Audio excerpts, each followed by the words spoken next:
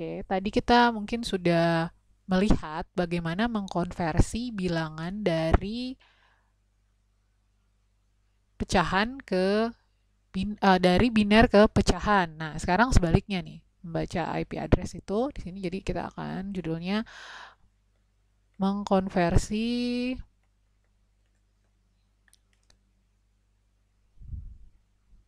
pecahan pecahan ke biner. Ya. Tadi kan dari biner kita ke pecahan ya. Sekarang kita akan coba sebaliknya.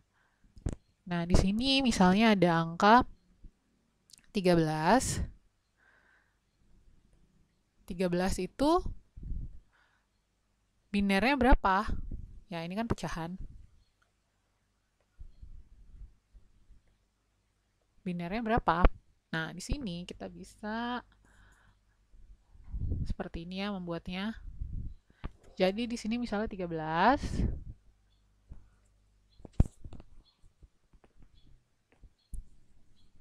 13 ini kita bagi dengan 2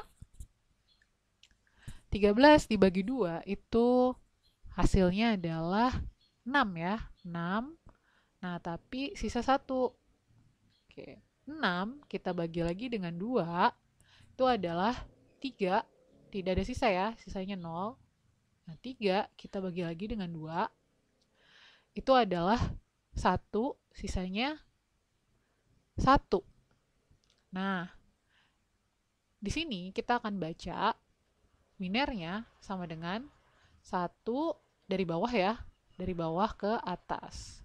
1 1 0 1 Nah, ini. Ini adalah pembacaan angka binernya. Oke, mungkin nanti kalau ada soal seperti ini jadi bisa kita jawab ya.